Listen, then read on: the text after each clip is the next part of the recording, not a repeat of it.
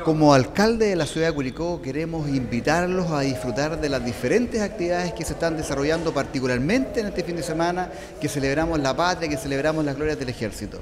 Eh, queremos invitarlos a la inauguración de la ramada, a compartir en familia en estas actividades, a ir al Cerro Condel, en el tradicional paseo al Cerro Condel, con su asadito, con su, ¿por qué no su vinito, eh, para celebrar pero también hacerlo con mucha responsabilidad, particularmente a la hora de conducir o de andar en bicicleta o simplemente de transitar por la calle.